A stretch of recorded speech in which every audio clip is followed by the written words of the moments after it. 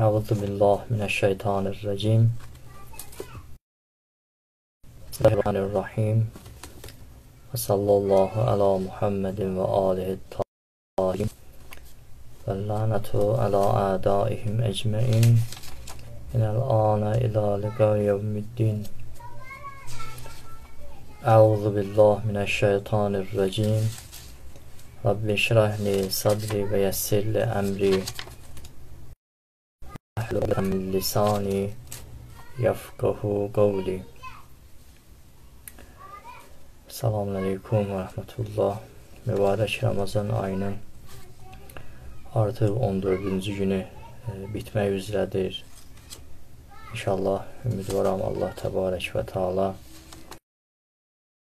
Əziz ayda və bugünkü gündə bizə öz rəhmət nəzərin nazil eləsin. Bizi öz rəhmətindən ayrı salmasın. İnşallah ümidvaram ki, Allah Təbarək və Taala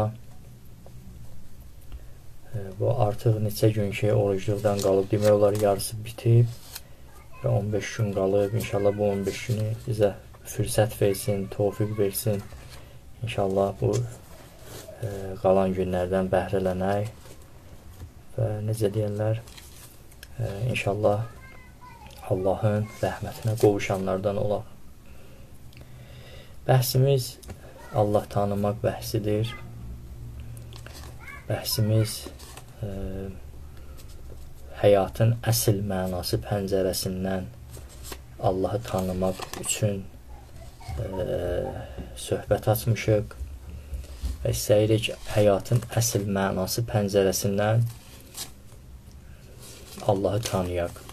Və elə bilirəm 7-8 söhbətlərimiz oldu, 7-8 canlı yayım elədik. Bu haqda bəzi məqamlara toxuna bildik inşallah. Elə bilirəm bu haqda müəyyən müzakirələr, faydalı müzakirələr oldu inşallah. Ümidvaram ki, faydalı olmuş olsun. Hər halda biz Allahı tanımaq üçün gərəkdir ki, özümüz üçün müxtəlif yollar tərif edək, müxtəlif baxışlar tərif edək. Bəzən belə başa düşülməsin ki, mən Allahı tanımaq üçün yalnız gedib fəlsəfə oxumalıyam. Mən Allahı başa düşmək üçün yalnız gedib e, kəlam elmi oxumalıyam. Mən Allahı tanımaq üçün yalnız gedib hansısa bir elmi öyrənməliyəm. Bəli, elmlər hamısı səbəb olur ki, insan təfəkkür edə. Bundan önəmli ola bilərmi ki, Quran elə bizə Allahı tanıtdırmaq istəyir. Baxın, biz elə Quranı əlimizə götürüb, Quranı oxuyanda, yəni Allah tanımaq kitabını əlimizə götürmüşük. Sadəcə ola bilər metodlar fərqli olsun. Sırf əqli metod bu elə o deyil ki, bundan başqa biz metodumuz yoxdur Allahı tanımaq üçün. Ağıl rol oynayır, ağıl bizə kömək edir. Amma sırf gələk özümüzü məhdud edək. Fəlsəfə kitabına da belə də deyil. Allahı tanımaq olar müxtəlif metodlar ilə. Amma yenə qeyd edirəm, fəlsəfə bizə kömək edir. Fəlsəfə zehnimizi işıqlandırır. Əslən ümumən Allah haqqında təfəkkür etmək elə özü bir növ fəlsəfədir. Sadəcə e, təfəkkür etməyin də müxtəlif metodları var. Mən mühüm bir bəhsimiz var, mühüm bir nöqtə var ki, istəyirəm bu söhbəti müqəddimə edəm onun üçün. Biz Allahı hansı pəncərədən istədik seyr edək? Təbii ki, bizim Allah tanımaq bəhslərimiz e, davam edir. Biz 2 il bundan qabaq, 3 il bundan öncə bu bəhslərə başlamışıq. Artıq bugünkü söhbətimiz bəlkə də 70 neçənci söhbətdir. E, sadəcə biz e, müəyyən həddə kimi gələndən sonra 40-cı dərsə gələndən sonra e, başladıq e, müəyyən e, bəhslər açmağa e, ki o o bəhslər biz o metodlar ilə Allaha inşallah biz nəzər salaq. Hərçənd ondan əvvəlki bəhslərimiz e, biraz ola bilər e, fəlsəfi metoda daha çox bənzəyirdi. Ümumən Quran kitabı özü bir pəncərədir Allaha baxmaq üçün. Yəni əsən belə ifadə edək. Quran kitabı özü e, Allahı tanıtdıran kitabdır. Amma hansı metod ilə? Necə o artıq oturub gərək Quranşünaslıq metodu edək, Quranşünaslıq edək. Quranın metodu nədir? Təbii ki, burada söhbətlər var. Aydındır. Gəlin elə bu məsələyə biraz bu günləri bir nəzər salaq. Elə həyatın əsl mənası pəncərəsindən biz Allahı tanıyırdıq. Və biz bu haqqda bəhs elədik. Yadınızdadırsa mən dedim, həyatın əsl mənası bəhsini, temasını mən 3 mərhələyə bölürəm. Bir mərhələ əvvəl həyatın əsl mənası elə həyatdır deyəndə buna meyar nədir?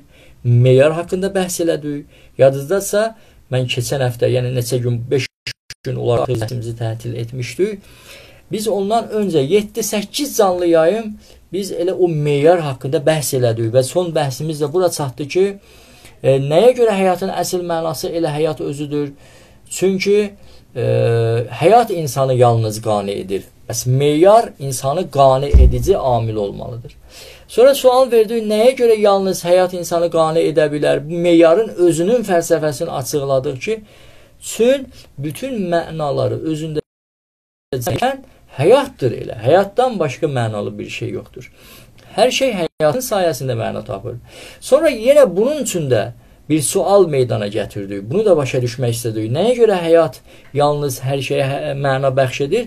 Çünki bax bu çünki mühümdür. Artıq burada Allah tanımaq bəhsin bu meyar ilə bizə özün göstərir.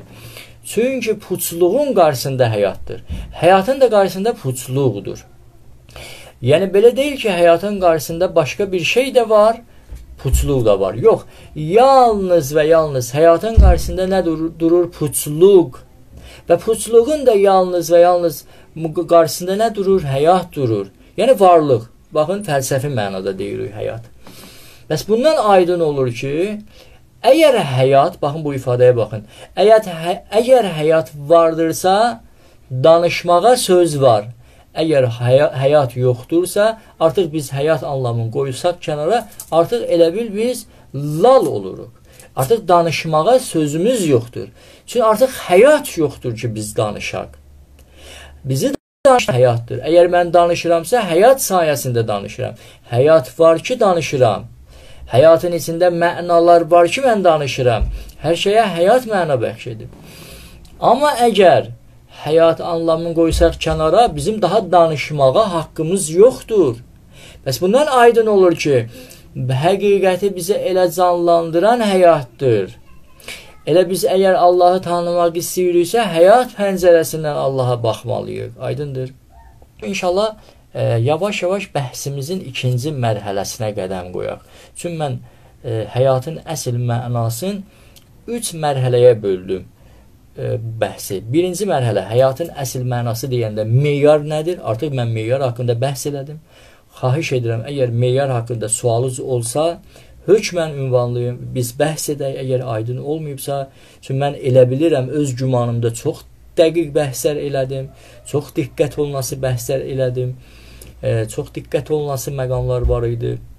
Həyatın əsl mənasının ə, əsl mənası nədir? Elə həyatdır. Meyar nə edir? Meyar budur ki, üçün həyatdır ki, yalnız insanı qane edir. Nəyə görə həyat insanı yalnız qane edir? Bu ikinci sualı qoydum. Çünki bütün mənaları özündə toplayan elə həyatdır. Yenə üçüncü sual, ikinci sualdan sonra üçüncü sual. Nəyə görə bütün mənaları özündə toplayan yalnız həyatdır? Çünki puçluğun qarşısındadır həyat. Həyatın qarşısında puçluqdur və puçluğun da qarşısında yalnız həyatdır. Yəni bu artıq irfan deməkdir. Bu artıq Allahı şəxsi tanımaq deməkdir. Bu artıq Allahı qəlb yolu ilə tanımaq deməkdir. Sən hər şeydən öncə həyatı elə tanıyırsan, həyat pəncərəsindən Allaha baxsan, onda bilərsən ki, Allahı tanıyırsan. Sən hətta həyatı Allah ə, e, həyatı zehnində canlandırmaq yox, qəlbində dadırsan, şəxsi tanıyırsan, sən ona birbaşa müttəsilsən, sən ona birbaşa qovuşmusan bu dəqiqə. Baxın, canlımızda 6 nəfər var. Hər 6 nəfəriz. Baxın, özünüzə diqqət edin. Biz həyata qovuşmuşuq bu hal-hazırda. buyurur Euzu billahi mineşşeytanirracim. Men yercu liqa'a rabbih fely'amel emelen salihan ve la yüşrik bi ibadeti rabbih ahada. Hər kim ümid edir ki, Allaha qovuşsun, əməli salih olmalıdır və iman gətirməlidir. İman gətirib əməli salih olmalıdır, əməli salih etməlidir. Bəli, Mələk 313 ustad çünki sonu Bəli. E, ustad çünki sonu puçluqdursa, puçluğun qarşısında e, durur həyat. Bəli. Çünki puçluğun qarşısında yalnız həyat durur deyə artıq bizim bütün mərifətlərimiz həyatda sonlanmalıdır. Son tapmalı, e, son özünə son tapmalıdır. Aydındır. Həyat ilə artıq məna tapmalıdır. Bəlkə də e, ifadələr kasıbdır, ifadələr tam yetərli deyil. E, puçluq, yəni ki, artıq insan lal olur, çünki artıq insan yoxdur danışa.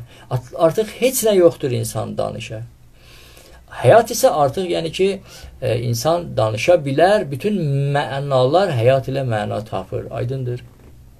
Baxın, bizim e, Allaha ən möhkəm sübut və dəlillərimizdən biri budur ki, biz putsuzluğu inkar edib varlıqda qərq olaraq Allahı tanıyırıq. Buna deyirlər burhan-ı siddiqin. Yəni putsuzluq ki yoxdur. Mən varlıqdayam, yəni mən həyatdayam. Bu həyatı elə canlandıraraq insan yəni, həyatda qərq olur, Allahı tanıyır. Artıq həyatı inkar etmək olmaz. Və bu barədə əlbəttə mən istəyirdim müəyyən bəhslər edən fəlsəfi dəlillər gətirəm, burada biraz bəhsi dərinləşdirəm. Amma çox təəssüflər olsun ki, e, tətil oldu, bir neçə gün fasilə düşdü və artıq e, gec olurdu deyə mən ikinci mərhələyə başlayıram. Mən artıq Quran pəncərəsindən dinimizin məarifi ilə həyatın əsl olduğuna bir məna salmaq istəyirəm. Yəni artıq ikinci mərhələyə başlayırıq. Artıq ikinci etapdayıq həyatın əsl mənası deyəndə həyat özüdür. Meyar haqqında bəhs elədik, o birinci etapdaydı. İkinci etap budur ki, indi istəyirik Qurana müraciət edək. Görək Quran bizə bunu başa salırmı ki, həyatın elə əsl mənası həyatdır? Bunu demək istəyirmi bizə? Yəni bir növlə Quran bizə demək istəyir ki, hər şeyə həyat məna bəxş edən elə həyat özüdür. Bunu demək istəyir ya yox. Bütün mənalar elə həyatda məna tapır, həyat ilə məna tapır. Bunu demək istəyir ya yox. Və yaxud ifadəni dəyişim. Ümumən Quran bunu demək istəyir ki, elə həyatı tanımaq Allahı tanımaqdır. Bunu bizə başa salmaq istəyirmi? Çox mühüm bir məqamdır. Odur ki, e, mən biraz da sizə diqqətli olmağa cəlb edirəm, dəvət edirəm. Aleykümsalam, Allah qəbul eləsin. Xahiş edirəm diqqət edin. İnşallah suallarınız olsa ünvanlayın. Gəlin biz Qurana müraciət edək. Əvvəl ayə oxumamışdan öncə ayə oxumamışdan öncə biz görək əslən ümumən Quran insana nə bəxş etmək istəyir?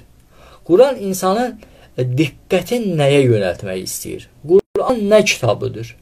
Təbii ki, Quran Allah tanımaq kitabıdır, amma ola bilər bu şuara çevrilsin. Qayıdıb deyəsən, ağa bu şuardır. Harda Quranı tanıtdırır mənə? Mən əgər gedib əqidə kitabı oxumasam, fəlsəfə kitabı oxumasam Allahı tanıya bilmərəm. Harda Quran mənə Allahı tanıtdırır ki? Bəli, Quran müəyyən hökmləri deyir, Quran müəyyən keçmiş hadisələrdən danışır, Quran ə, müəyyən göstərişlər verir. Quran bəli, Allaha aid bəzi ə, diqqət olması məqamlara toxunur. Amma Quran əgər ümumi şəkildə biz ələ alıb Quranı oxumaq istəsək, zehnimizdə nə isə bir Allah tanımaq haqqında silsiləvari bir e, nəzmi nizam yaranmır. Gəlin biz real olaq. Harada Quran mənə Allahı tanıtdırmaq istəyir? Biraz buna izah verin, görək nə demək istəyirsiniz. Ümidvaram inşallah artıq e, mən də fikrimi toplayıram ki, siz canlıya qoşula-qoşula mən bəhsimi aydınlaşdırıram. Quran bizə Allahı tanıtdırır və biz əqaid dərsimizdə diqqət edin. Çalışırıq elə Quran metodu ilə Allahı tanıyaq. O hansı metoddur? Gəlin diqqət edək. Bəlkə də insan bu həqiqətdən qəflət edib. Ələl xüsus dindarlar, onlar ki, din əhlidir, bu həqiqətdən qəflət edib. Bu nöqtəyə diqqət etmir ki, Quran mənim zehnimi nəyə yönəldir? Quran ümumən mənə nə bəxş etmək istəyir? Çoxumuz bundan qəflət ed etmişik. Biz bəzən Qurana belə baxırıq. Quranı götürürük, açırıq, Quranı oxuyanda elə bilirik ki, Quran savabı var oxumağı. Yəni Quranı oxumağın savabı var. Yəni bu mənada ki, sən həyatdan çıx, reallıq aləmdən çıx, gəl indi otur Quranın məhzərində, Quran səni aparsın bir başqa bir aləmə. O aləm bəzi vaxtda heç bilinmir nə aləmidir. Və hətta sən o aləmi öz xəyalında təsvirə çəkirsən və o xəyalın səbəb olur sən bir vəhmiyyat aləmi yaradasan. Baxın, xəyalın özü də iki cürdür. Həqiqi xəyal aləmi var, bir də vəhm aləmi var. Bəzən insanın xəyalları səbəb olur, insan vəhm aləminə düçar olur, vəhm aləmində qərar tutur. Qoy nə demək istəyirəm, bunu izah verim. Bəzi vaxtı e, sən öz xəyalların ilə istəyirsən ki, həqiqəti başa düşəsən, bu ayrı məsələdir. Məsələn, e, biz əqaid dərsində belə bir misal vururduq. Sən təsəvvür elə, elə bu dəqiqə göydən zəmbillə düşmüsən yerə. Göydən zəmbillə düşmüsən yerə, təbii ki, bu xəyaldır. Yəni reallıqda sən zəmbillə düşməmisən yerə. Sən anadan doğulmusan, sən müəyyən təkamül nəticəsində əmələ gəlmisən. Amma biz ə, e, xəyalımızda zəmbil misalın qururuq. Elə bil bu dəqiqə bu kəs bu ağılda, bu tutumda sən zəmbillə göydən yerə düşürsən, bu mümkündür ya mümkün deyil. Mümkündür. Elə sən bu dəqiqə elə zəmbillə düşmüsən yerə. Bu batil xəyal deyil. Elə əsasən düz xəyaldır. Sadəcə xəyaldır. Yəni sən özün zehnində düzqoş eləmsən. Necə bir nəfər istəsə bir film çəkə, film hazırlaya, o filmi öz xəyalında cilvələndirir, amma batil cilvələndirmir. Həqiqətdən kömək alaraq bir xəyal aləmi qurur və o xəyal səni həqiqətə, reallığa doğru yönəldir. Sənə səbəb kömək edir, həqiqəti və reallığı daha da dərindən başa düşəsən. Bu bir növ e, xəyaldır. Amma bəzən bizim xəyallar səbəb olur biz vəhm aləminə düşək. Vəhm yəni reallıq ilə e, reallıq ilə uyğunlaşmayan bir aləmdir. Sən öz zehnində öz xəyalların ilə elə bir aləm qurursan ki, reallıqda o mümkün deyil. Məsələn, sən zehnində belə bir aləm qurursan ki, sən həm günah edirsən, və həm də Allaha yaxınlaşırsan. Sən həm günah edirsən və günah edə-edə dünyada əbədi qalırsan. Yəni vəhmiyyət qurursan özün üçün. Batil xəyallar.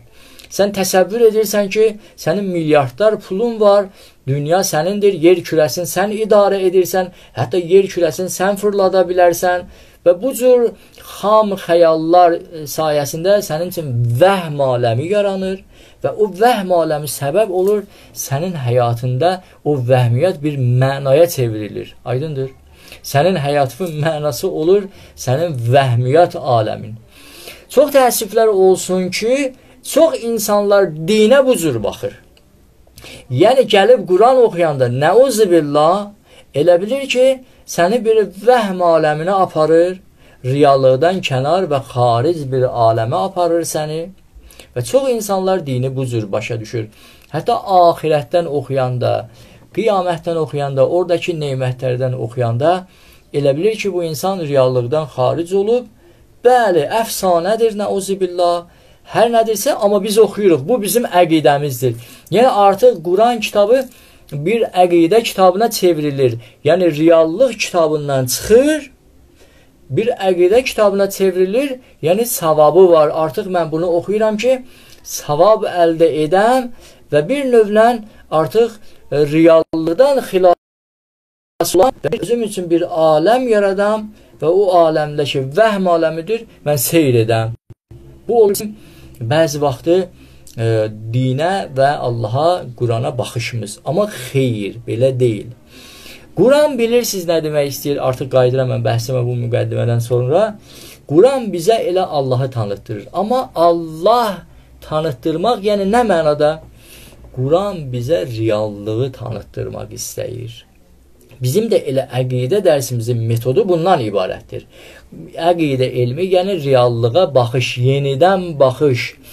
Quran həmişə bizim üçün təzə olmalıdır. Sən həmişə Quran oxuyanda sənin üçün reallıq daha da canlanmalıdır. Nə mənada mən bir misal vurum, sonra inşallah bəhsimi davam edim.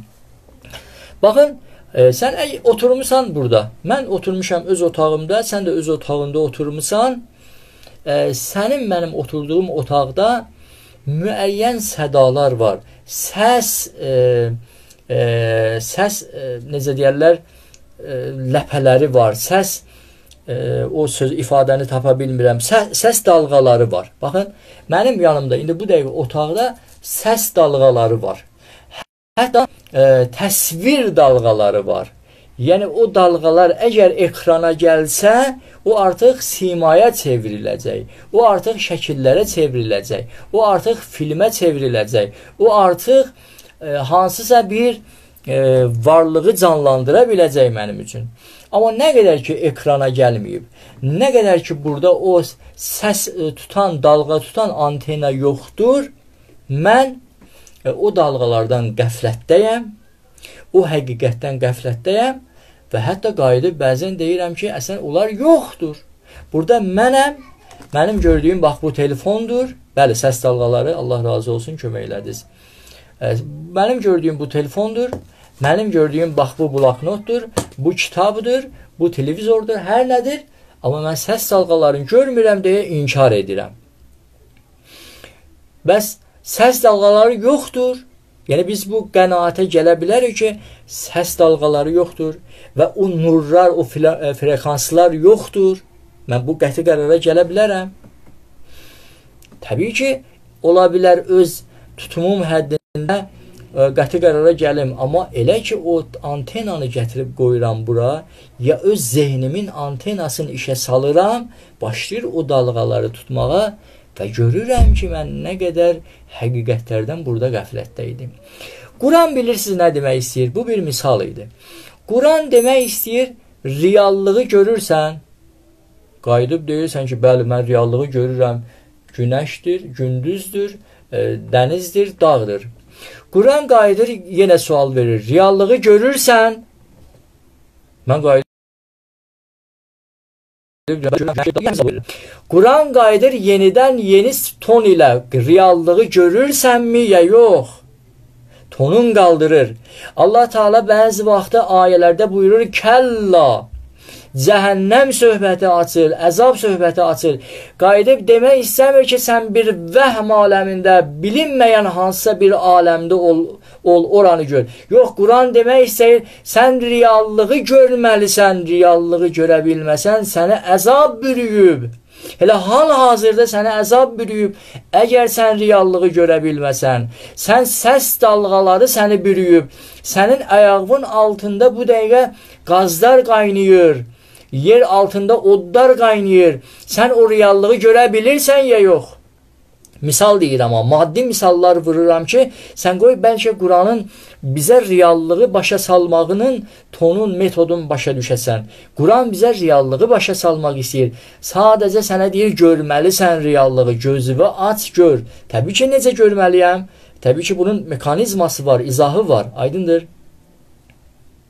Bəs Quran buyurur, reallığı gör. E, misal vurun. Elə bil ki, mən sizə qayıdıb deyirəm ki, əziz, əziz buradan məni tamaşa edənlər, mənim canlı yayıma qoşulanlar və məni görənlər, xahiş edirəm sizdən, durun, gedin, ev, hər, hər kəs evində pəncərə var. Xahiş edirəm, gedin pəncərədən çölü müşahidə edin, çölə baxın. Mən xahiş edirəm sizdən, mümkünsə elə bu halda Siz durun ayağa, gedin pəncərəyə yaxınlaşın. Əgər mühümdürsə, mən sizdən xahiş edirəm. Durun, gedin pəncərəyə yaxınlaşın. Ümidvaram durmusunuz və gedirsiniz pəncərəyə doğru. Mən özüm də pəncərə mənim qarşımdadır. Pəncərədən çölə baxıram. E, və sonra qayıdın. Siz gedib pəncərədən baxırsınız çölə, yəni doğrudan gedin baxın. Gedib pəncərədən baxırsınız, qayıdırsınız. Mən qayıdıb sizə bilirsiniz nə deyirəm? Siz mənə baxın artıq. Mən sizə qayıdıb deyirəm, xahiş edirəm indi gördüklərinizi, pəncərədən seyr etdiklərinizi e, götürün, rəsm edin. Yəni onu götürün, e, şəklini çəkin. Bir dənə e, qələm götürün, bir dənə varaq götürün, onu e, rəsm edin, onun şəklini çəkin. Bu halda sizdə nə baş verir? məcbur olursunuz onu şəklin çəkmək üçün yenidən pəncərəyə tərəf baxasınız, yenidən o çölə baxasınız, müşahidə edəsiniz, amma bu dəfə baxmağını, baxmağınız daha da diqqətli olacaq. Çün istəyirsiniz onu rəsm edəsiniz. Çün istəyirsiniz onu e, şəklin çəkəsiniz.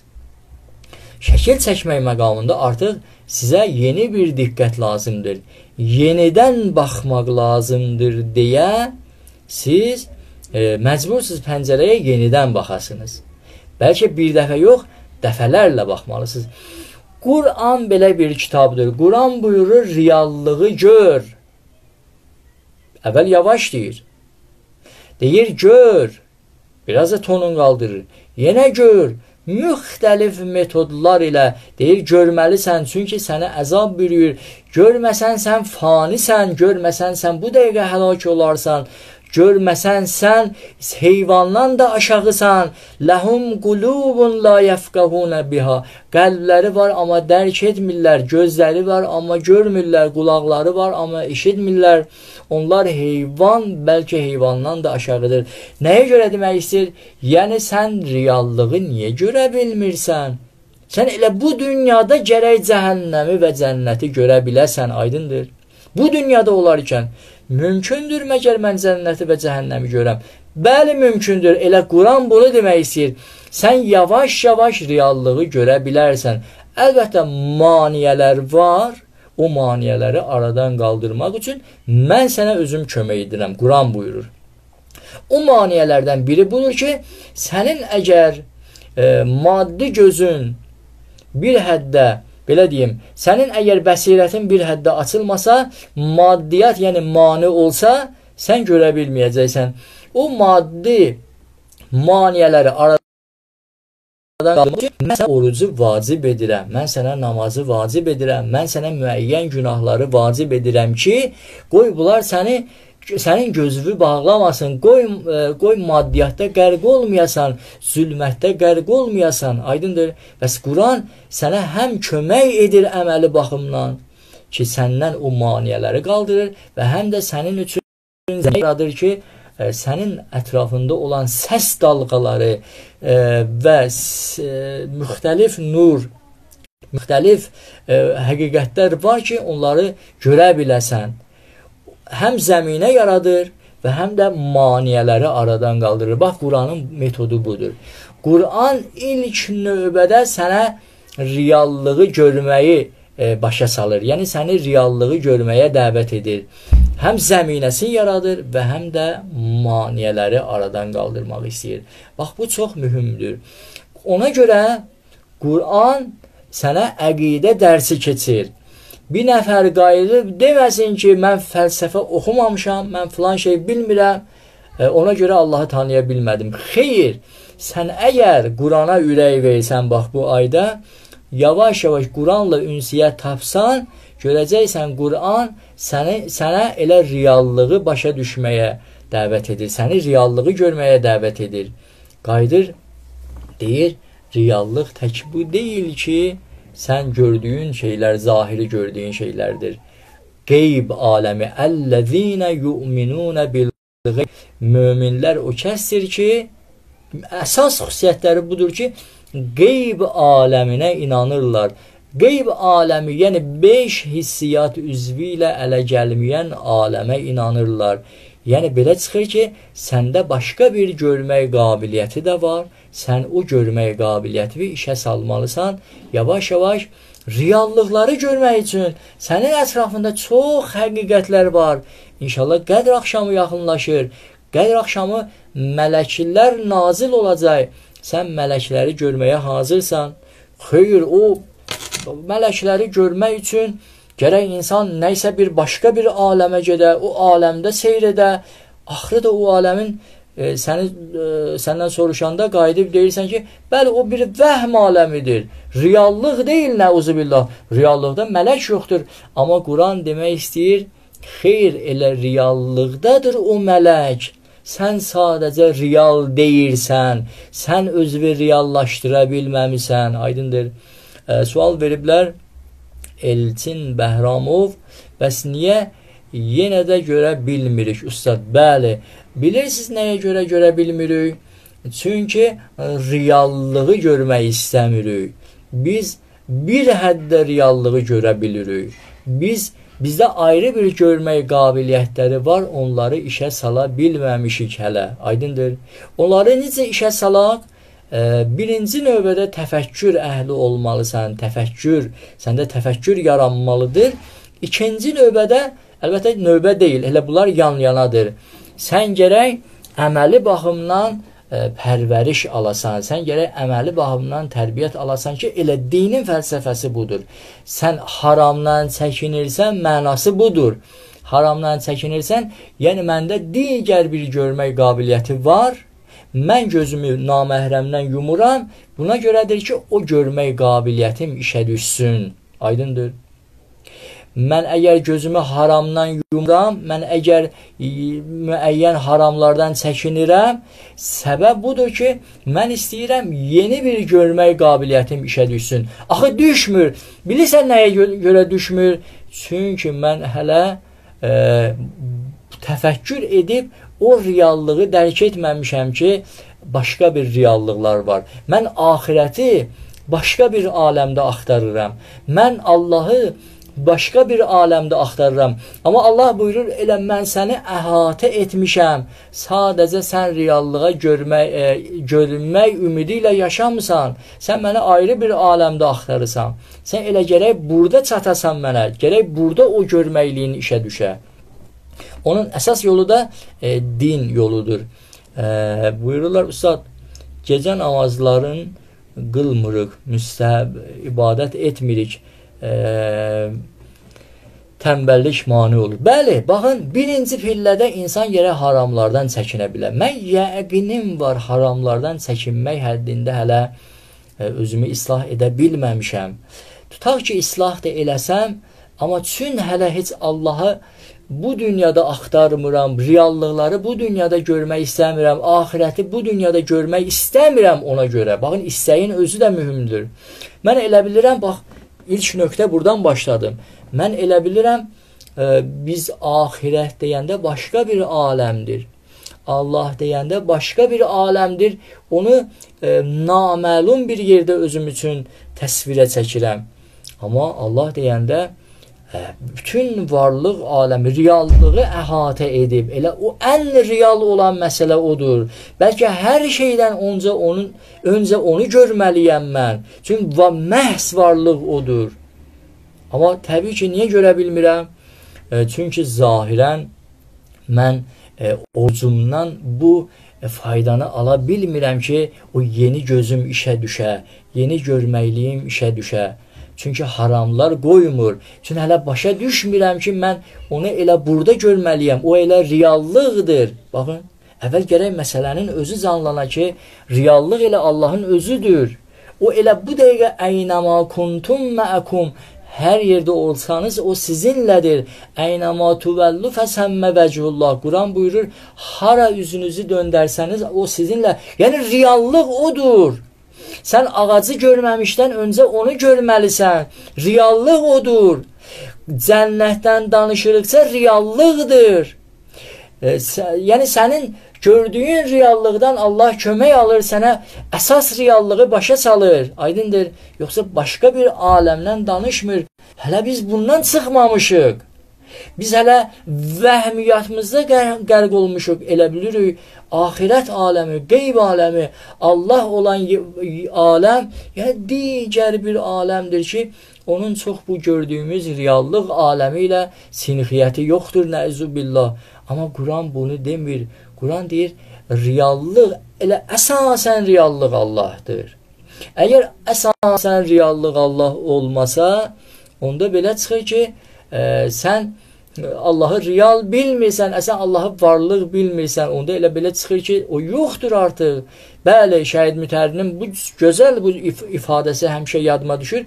Onda belə çıxır ki, sən Allahı məchfulatda təsəvvür edir, edirsən, naməlum yerdə axtarırsan, məlumatda axtara bilmirsən. Sən elə oturduğun halda gərək Allahı dərk edəsən ki, mən oturmuşam, amma o mənim oturmaqlığım o mənim özümdən aslı deyil. Bir anlıq oturma qabiliyyətini əldən verə bilərəm. Məni oturdan var burada. Mənə o qüdrəti bəxş edən var. Bax bir anlıq özünə qərq ol. Mən oturmuşam bu stolun üstündə, bu stolun üstündə, bu kresloda. Mən oturmuşam. Elə ki qayıdıb desəm mən oturmuşam, 2 dəqiqədən sonra sənin həyatın xətərə düşəndə görəcəksən sən oturmamışdın. Sən özün oturan deyildin. Bir nəfər səni otuzdurmuşdu. Əsən o sən deyildin ki, səni otuz, otuzdurmuşdu. Bəlkə elə sənin oturmaqlığın ondan aslı idi. Bəlkə elə sən ümumən ondan aslısan. Sən bax bu aslılığı gərək görəsən. Bax buna deyirlər reallıq. Sən reallığı gör ki, sən deyilsən oturan. Elə məlum halda sən məlumatda Allahı gör. Sən deyilsən oturan, sən deyilsən özünü otuzduran, səni otuzdurub, sən hər halda ondan aslısan. Bunu təsəvvür etmək çətindir. Bu acaqlığa çatmaq çətindir. Sadəcə bir diqqət istəyir.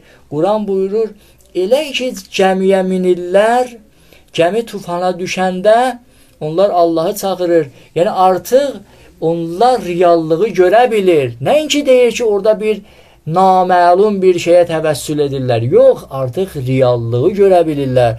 Reallıq budur ki, gəmiyə minəndə, gəmi tufana düşəndə artıq reallıq budur ki, əlimizlə hər yerdən üzülür, görürük, mən deyildim su üstə duran, mən deyildim nəfəs alan, mən deyildim həyat sürən, mən deyildim ürəyimi döyündürən, mən deyildim. Bunlar hamısı nəyinsə sayəsində baş verir. Mən deyildim ayaq üstə duran. Bax insan bunu çox sadəliklə dərk edir. Amma elə ki tufana düşür, insan bu reallığı görə bilir. Amma çox təəssüflər olsun, Quran buyurur, elə ki oradan nicat tapırlar, yenidən o reallıqdan xaric olurlar. Allah Taala demək istəyir, həmişə bu reallığı dərindən görməlisən. Sən elə hal-hazırda Allahdan aslısan.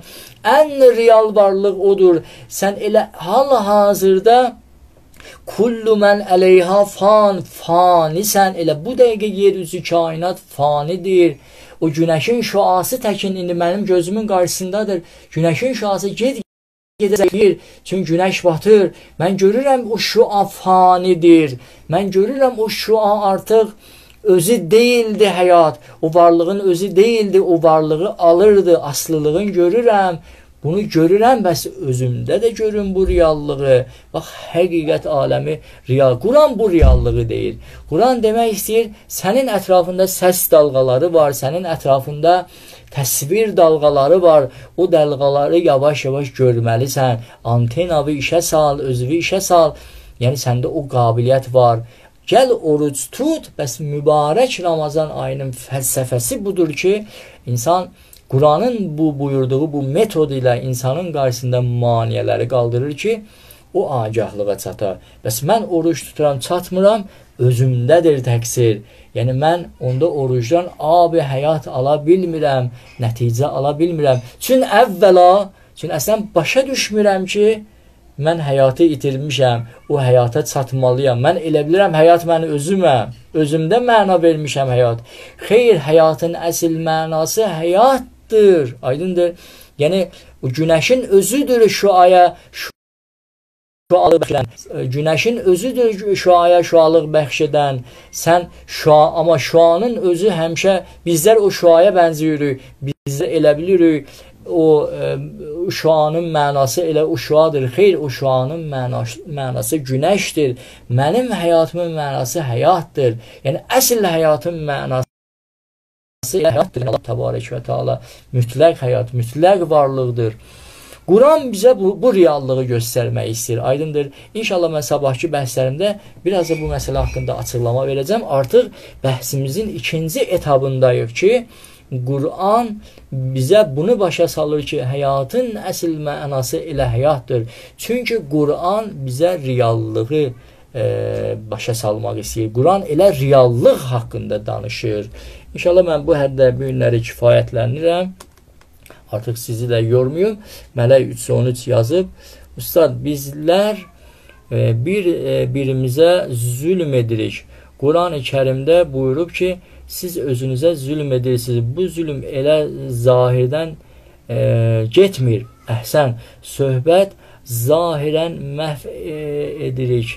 Reallıq görmür. Əhsən, baxın, bütün əməllərimiz qalır bu xilqət aləmində. Zülm edirik, hər nə əməllər fəmən yəməl misqalə zərrətin xeyrən yerə bir zərrə yaxşılı yax, bir zərrə qədər yaxşı əməl etsən görəcəksən və bir zərrə qədər pis əməl etsən görəcəksən. Yəni hal-hazırda o var, itmir o. Bütün danışıqlarım qalır kainatda. Bütün əməllərimiz qalır və insan elə ki bu mücərrəd aləmindən bu üzr istəyirəm, bu təbiətdən xaric olur, görür o pis əməlləri insana üz gətirir, insanda necə e, baş qaldırır və yaxşı əməllərini də görür və artıq orada elə bil o zalı necə insanın bədəninə yapışar, pislik bax belə yapışıb insanın canına qoparda bilmisən onu.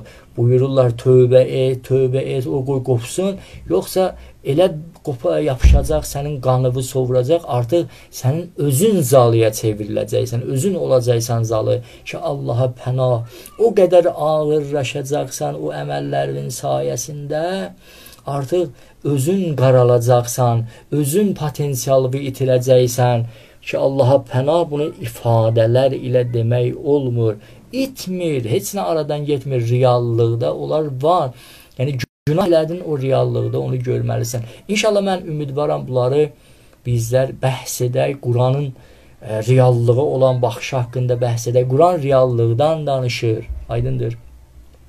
Bəli, Mələ 313 Allah bizləri əfv etsin. Çox e, vahim, çox vahiməlidir. Həddindən artıq vahiməlidir. E, necə Allah eləməsin bir nəfərin bədəninə rak xəstəliyi yayıla. Rak xəstəliyi yəni göbələk yavaş-yavaş kök atır, yayılır bədənə. Ha istəyirsən ondan canını qutarasan, amma o yayılır. Allah iraq eləsin, Allah Allaha pənah. İnsanın reallıq budur. İnsanın əməlləri, insanın pislikləri kök atır, insanın yavaş-yavaş qanın sovurmağa başlayır. Hətta sonunda insan özü xərçəng və rak hüceyrəsinə çevrilir. Allaha pənah. Bax, reallıq budur. Quran demək istəyir ki, sənin həqiqətin budur. Bunları görməlisən. Bunlar başqa bir aləmdə deyil, vəhmiyyət aləmində deyil. Bunlar reallıqdır.